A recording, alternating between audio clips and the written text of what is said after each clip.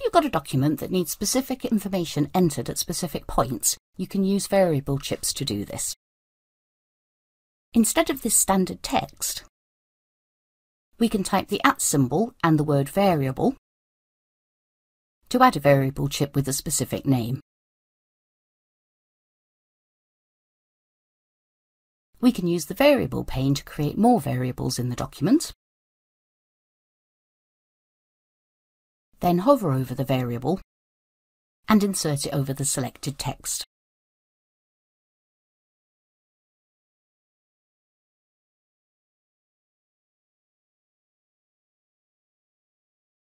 Scroll down the document and add variables you've already created where the information is required again.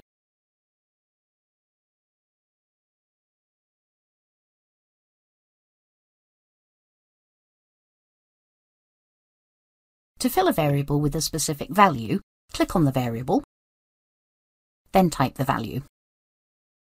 All instances of the same variable will be completed.